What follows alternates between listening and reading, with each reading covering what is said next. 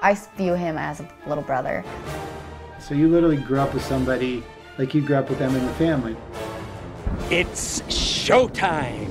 It's kind of interesting to have done the voice of something that is actually a bigger star than you are. The slasher genre was ready for a burst of new blood, and Chucky supplied that in spades. It was a new kind of horror figure.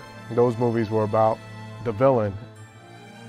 Many movies later, and now a television series. If you got asked to do a Chucky movie, you can't really say no. I was thrilled to be injured and for acid in my face, even better. I just had a ball. You can ask your dad.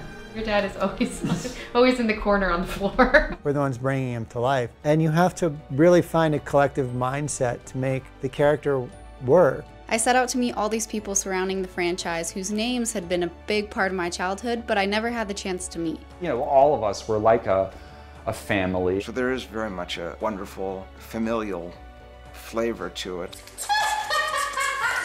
To be a part of something that so many people love is really surreal. For such a large group of people to be invested in a story that has been told for over 30 years, to be a part of that is truly special. I am Chucky, the killer dog, and I dig it!